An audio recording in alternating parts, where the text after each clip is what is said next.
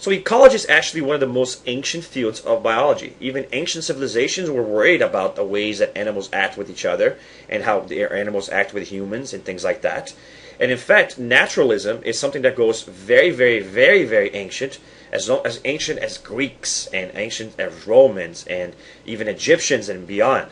Because the idea is that observing the natural world, we can make better predictions about it, and then we can control it, perhaps and even the Egyptians were obsessed with the idea of controlling the river if there was any way to do it, because the river was the source of its life. And the living things that live because of the river were fascinating for the Egyptians.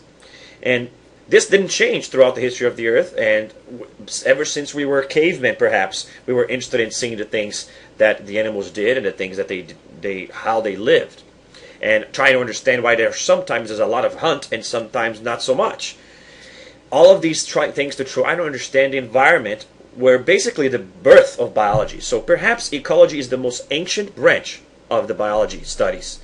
And in the Middle Ages, at the end of the Middle Ages, and the Renaissance kicked in, a renewed interest in studying the natural world started.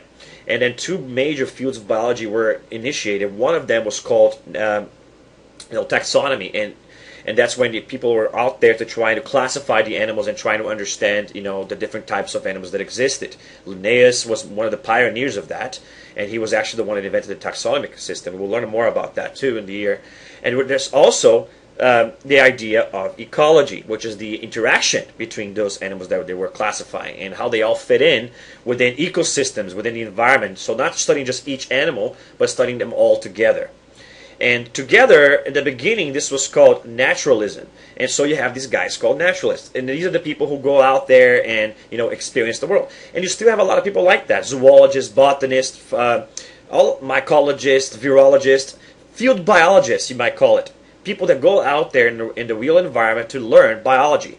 And you even have those OTV, you know, those people that go on Animal Planet and they're hosts and they tell you about the animals and you know they go out into the nature. Those are naturalists, people that are, that live for the for the observing nature, like Jane Goodall, that fa- famous uh, naturalist that studied the behavior of chimps in the wild.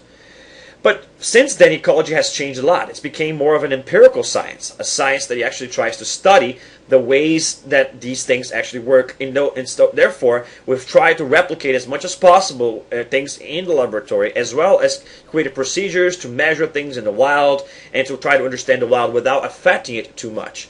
And so ecology went from being a very basic naturalistic science that we went just to observe the natural world to a very empirical science where we actually do experiments in the natural world and in replicated uh, habitats inside laboratory conditions.